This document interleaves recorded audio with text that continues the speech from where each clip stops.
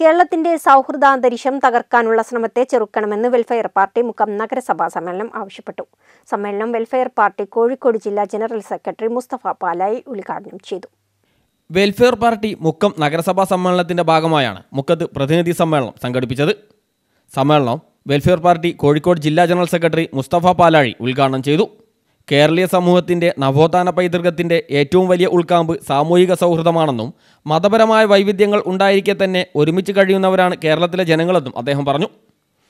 ഈ സൗഹാർദ്ദാന്തരീക്ഷം തകർക്കാനാണ് സംഘപരിവാർ ശ്രമിച്ചുകൊണ്ടിരിക്കുന്നതെന്നും ഇത്തരം ധ്രുവീകരണ ശ്രമങ്ങളെ ചെറുത്തു തോൽപ്പിക്കാൻ കേരളീയ സമൂഹം ഒറ്റക്കെട്ടായി മുന്നിട്ടിറങ്ങണമെന്നും അദ്ദേഹം പറഞ്ഞു. സമ്മേളനത്തിൽ വെൽഫെയർ പാർട്ടി മണ്ഡലം പ്രസിഡന്റ് ഷംസുദ്ദീൻ ചെറുവാടി മുഖ്യ പ്രഭാഷണം നടത്തി. നഗരസഭാ committee president T K Noushad Ubaid Kodappana എന്നിവർ സംസാരിച്ചു.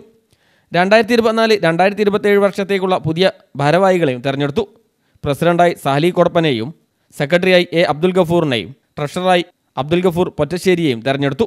ചന്ദ്രൻ കല്ലൂരിട്ടി റൈഹാന എന്നിവർ വൈസ് പ്രസിഡന്റുമാരും ഉബൈദ് കൊടപ്പന അനുപമ പൊറ്റശ്ശേരി എന്നിവർ ജോയിന്റ് സെക്രട്ടറിമാരുമാണ്. News bureau Mukkam.